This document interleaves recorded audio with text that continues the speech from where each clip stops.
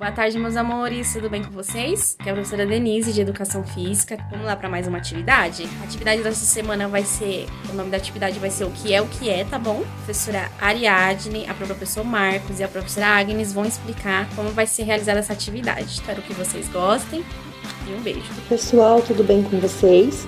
Aqui é a professora Agnes, professora de arte.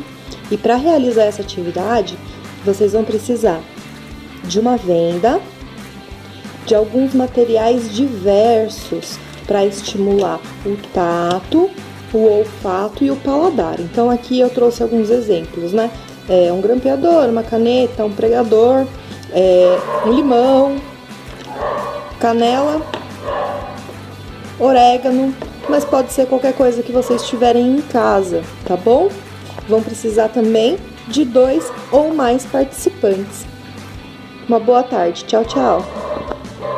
Olá pessoal, bom dia com alegria, aqui é o professor Marcos. Para a atividade de hoje, vamos escolher objetos bem criativos que você tenha na sua casa. Peguem objetos que tenham uma textura, um cheiro diferente. Okay? Por exemplo, você pode ver aqui, ó, pente, uma escova, cabide. Olha que legal isso aqui, ó. Okay, ó frutas, abacate, manga, limão, uma garrafinha de água PET. Peguei também aqui, ó, o dental. Olha aqui, uma, uma máscara. Ali no fundo, você pode ver, ó, uma toquinha, tampinha de garrafa PET. Olha também ali, ó. Olha que legal aquela textura da bexiga. Esponja, que ela tem uma textura áspera. E papel higiênico, que tem uma textura mais leve.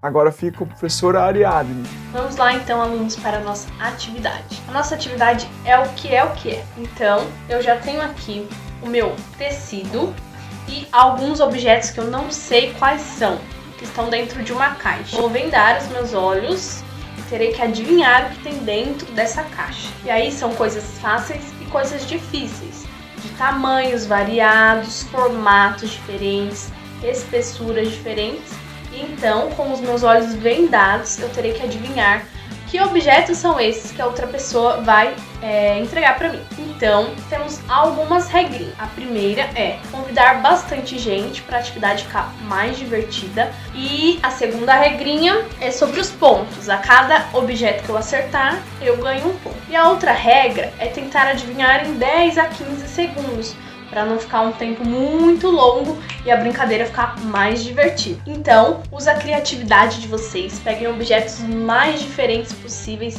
de tamanhos diferentes, formatos diferentes. Pensa naquele objeto que a pessoa não vai adivinhar e entrega para ela. Vamos lá fazer a atividade? Uma olhada. Acho que é uma maçã. Uma maçã. Não, um tomate, é um tomate. Acho que é um tomate. Vamos pro próximo. Nossa, esse é grande. Ah, já sei. É um rolo de certeza. Mais um. Sacolinha de supermercado. Não. Acho que é uma roupa de banho. é difícil. Sabonete. Tirar. Tirar. Sabonete. Mais. Olha só. Um sabonete. Pode tirar? Pode tirar. Um sabonete. Isso. Can... um... um canudo, um canudo. Tem um grande aqui. O que é isso? Uma régua. Ah não, não é uma régua não, um cabide. Cabide.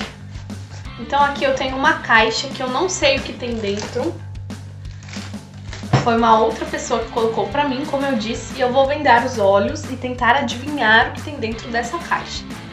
Então agora é a sua vez. Separa alguns objetos e venda os olhos da outra pessoa que vai brincar junto com você. E depois também é a sua vez de ficar de olhos vendados e tentar adivinhar os objetos.